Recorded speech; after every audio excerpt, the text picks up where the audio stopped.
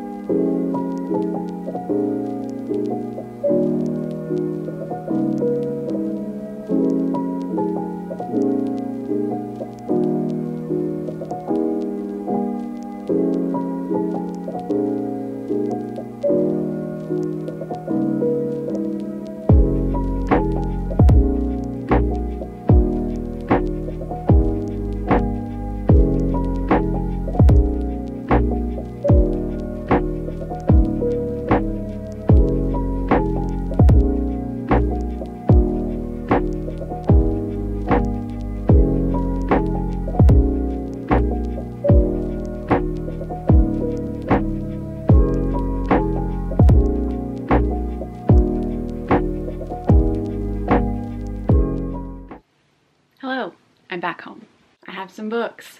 I bought some books. Not all of these all at once, but I did buy some books.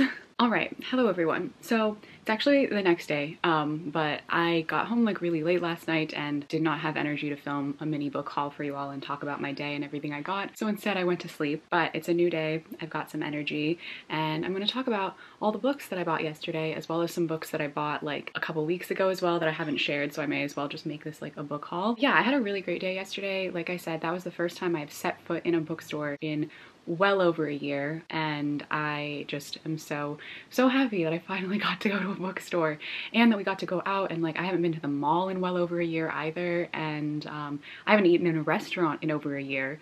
So it was a lot of really new experiences um, but again just appreciative and grateful that I am vaccinated and able to do that now and that it's safe. So yeah, it was all around a great day. I hope you enjoyed the little clips. I didn't film like too much because I was spending the day with my family, so I didn't want to like interrupt that by spending all of my time filming. I wanted to be as present as I could. But now we finally move on to all of the books that I bought. So um, this is the stack that I have. Like I said, I did not buy all of these at Barnes & Noble yesterday. I only bought three of them. I'm gonna start off with the ones that I bought before um, yesterday, before I went to Barnes & Noble. So these are all books that I actually bought like a couple weeks ago. Like I said, I just ordered these online um, and you've seen, I think, the majority of them because I've mentioned them in like the books I've read recently videos that I've talked about uh, because I bought them because I'd already read them. I listened to the audiobook and then I wanted the physical copy because I liked the book so much. First up, I have this gorgeous copy of On Earth We're Briefly Gorgeous by Ocean Vuong, one of my favorite books I've read this year and one of my favorite books I have ever read. I talked about this in my recent reads video and I'm just so in love with it and I just really, really liked this cover. I think it's so pretty. I think this is the UK paperback. Yeah, this is the UK cover. I love the book. I love the cover highly recommend. Next up, I have this copy of Goodbye Again by Johnny Sun. Again, I really just like this cover. I love the artwork on it with the plants on the back and it's just like super simple. It's a nice like hardcover without a dust jacket. I really like hardcovers without dust jackets. They're some of my favorite types of like book covers. I really enjoyed this book too. It was a really great read and definitely recommend it as well if you're looking for some nonfiction. And then the next book I got is The Lives of Saints by Leigh Bardugo. This is a collection of short stories of the saints in the Grisha world. So it just tells you each of their backstory and then it has like artwork and stuff in it as well if I can find one. There we go. It has some artwork in here too of some of the saints. Um, and this one's just really pretty. Just a nice addition to my Grisha collection since I love that series so much and I like knowing more about the world. This was also pretty fun to read too. So yeah, I really wanted this especially because it was just so pretty and I did enjoy reading it. And then the last of the books that I bought a little while ago is Rule of Wolves by Leigh Bardugo. This is the second book in the King of Scars series, which is the sequel to the Grisha trilogy. I have yet to read King of Scars Scars, and I obviously haven't read Rule of Wolves either, um, but I do plan to read them, especially now that I've finished rereading the Grisha trilogy. I plan to reread Six of Crows, and then I think I'm going to start reading these. A lot of you have asked me for a reading vlog for these, so I definitely plan to do that as well. But yeah, I'm just glad to have this so that I can marathon that series, update you all on my thoughts, because I'm really curious to know what I'm going to think. I feel like everyone, everyone was spoiling it for me a little bit, so like, I already kind of know some things. Like I put some things together because you guys spoiled it for me. So I'm a little bit upset, okay? but I will still be doing a reading vlog and I am very excited to see what I think of these. All right, and then finally we get into my mini Barnes & Noble haul from yesterday. I went to Barnes & Noble in the first place because I desperately wanted some manga. I started reading manga last month and I mentioned this in my last video that um, I read Horimiya Volume 1 and I really enjoyed it. I watched the whole anime. I loved the anime as well and I've been watching anime for a very long time but I never got into reading like either the manga adaptation of an anime or or the manga that the anime is based off of. And I recently just like wanted to start reading some manga because I was in the mood for it and I wanted to try something that I hadn't tried before. So I got some recommendations from a friend, started out with some of those, and then I asked you all for some recommendations and you all gave me a ton of great recommendations. And I wanted to buy all of them, but I do not want to buy them all before I read them. Like I would rather read them either through the library or like as an ebook or something like that so that I don't just like have a giant manga collection of books that I don't even like much. So I want to read them first, like digitally in some way or from a library or something like that um, before I buy like too many of them. But I did buy three because um, two of these I've watched the anime, I'm in love with the anime and I just wanted to read the manga. And then the other one was just kind of like an impulse new purchase that a lot of you had recommended to me and I feel like I would probably really like. And um, yeah, so let's get into them. First up, I picked up Your Lie in April Volume 1. I love this anime. I started watching this, I posted about this on my Instagram story a while ago, but I started watching this thinking that this was just like some fun, cute romance anime about two people who love music and play the violin and the piano. That's not what it is. it's so sad. It's so sad so so sad and it made me sob i loved this show though it was so good i don't know how to explain how like emotional it made me not just because the actual like events that happen are sad but specifically because of like the love of music that is like such a major theme in this story and like the way that music makes these two characters feel and their attachment to it. That part of it to me was like the best part of the entire anime and like the part that made me the most emotional which you might find weird because other like genuinely like objectively sad things happen. Like those made me sad this aspect of it made me like really really emotional and that's why I like it so much. They had like maybe seven or eight of the volumes, but I only got the first one, obviously. Impulse control, and also um, maybe I won't like the manga as much as I like the anime, so um, I did want to just try out reading the first one since I already know I like the story, and even if I like don't want to continue with it, I know that like I still have this on my shelf as a reminder of like a series I like anyway. So yeah, I'm very excited to read this and see if I like it as much as the show. All right, and then the next one I picked up is the one I am most excited about. This is the reason I went to Barnes & Noble in the first place. This is why I was like, I need to read manga. Like I just, I need to read manga manga because I need this story specifically, I need more of it like right now. And that is none other than Fruits Basket. Listen, uh, this is my new absolute love. I have been so obsessed with the Fruits Basket reboot, like the 2019 one. That's the one I've been watching. I, I don't know what to tell you. I'm so in love with it. I'm on my second rewatch. I'm watching it with my sister now because I'm like forcing her to watch it with me because I was like, you have to watch this. I need someone to talk to about this show because like I'm dying. I've spent an excessive amount of time on TikTok and obviously I ended up on anime TikTok and people have so many great recommendations and I have like a huge watch list of things I want to watch. And then for some reason a few weeks ago I was like I'm gonna try out Fruits Basket because I've seen a lot of people talk about it and I don't really know anything about it. I just finished Your Lie in April. I wanted another romance anime because that was what I was in the mood for. And I was like this looks like some fun, cute, fluffy little show. It's not a fun, cute, fluffy little show. I mean, it is, but it's not. it is, pure depression like constantly. It's so sad. it is happy, it is funny, and it is fun, but it is also literally just like trauma, like childhood trauma. Like that's what this whole show is about. Like that's that's it. It's so sad. And it was not what I was expecting. I was literally sitting there having like a good time. I was like, "Whoa, they turn into animals? Like what is this? I didn't even know that was part of the plot." And then out of nowhere, it was just like, "Here, take like excessive amounts of childhood trauma and depression. That's just what the entire series is. And I love it.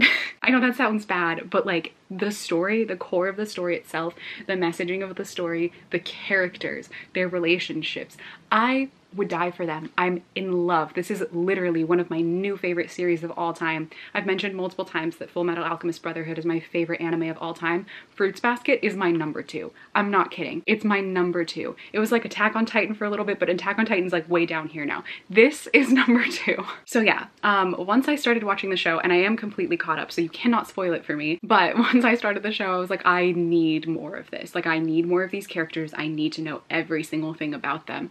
So this is the reason I wanted to read manga in the first place. And a lot of you recommended it to me too, even though you didn't know I had um, already seen the show. A lot of you were like, I think you'd like Fruits Basket. You're right, I love Fruits Basket. It is my new favorite thing. so yes, I got volume one and I'm very, very excited to read this. I'm gonna probably pick up the other ones whenever I can and then continue on with it. It'll probably be pretty soon because like I know I'm gonna wanna like marathon these because I just like, I need more of it. I hate waiting a week for each episode to come out. It's like slowly killing me because I binged the rest of the series and now I just have to wait for these and it's it's painful but I just, I love it so much. Also, the person who was checking me out at Barnes & Noble was talking to me about the manga that I was getting and they were like, have you read this one? Have you watched the show? And I was like, yes, I am obsessed. And they were like, have you seen the newest episode? And we were like talking about manga and it was so, so nice. And they were recommending like new ones to me and like other anime to watch. And I was like, I just finished watching that yesterday. And it was, it was just so nice because like I haven't had anyone to talk to about the manga and anime that I've been watching. So yeah, it was just really nice to have that conversation with also a stranger stranger. Like having conversations with strangers is not a thing I've done in over a year.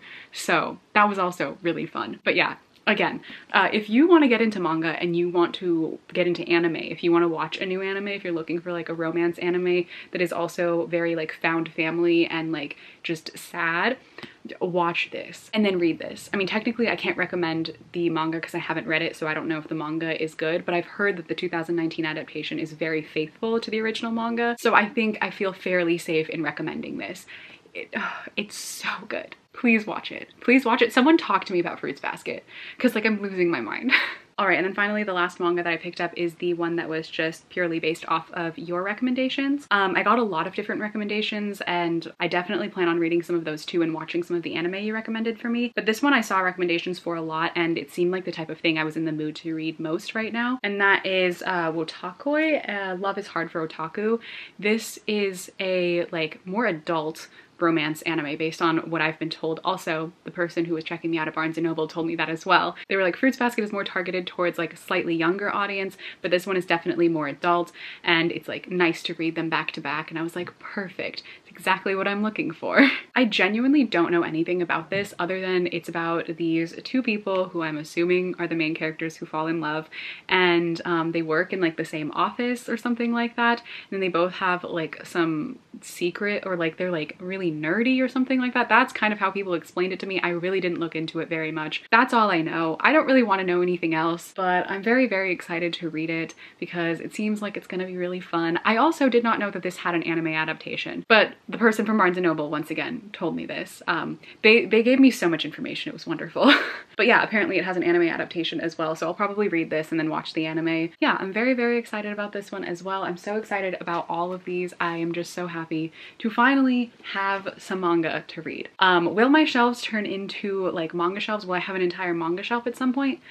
Maybe I can see it happening. But yeah, very excited to read these and then share my thoughts with you all. But yeah, that's it for my little mini book haul and my little book shopping vlog. I hope you all enjoyed watching this video. Like I mentioned, I know I didn't film very much of myself while I was out or even while I was at Barnes & Noble. It was just kind of hard to film in there because there weren't very many people there, which usually would make it easier, but because of COVID and stuff, um, we couldn't stay in a place for too long. So I just like tried to just film little clips here and there and then um, get what I needed and then head out just to like respect um, everybody's space and everything. But nonetheless, I hope that it was enjoyable for you all to watch and um, hopefully I can film some more bookstore vlogs. I definitely have plans to hang out with some friends and go to some bookstores over the summer as well. So um, I can definitely film some of that too and I do plan to do that.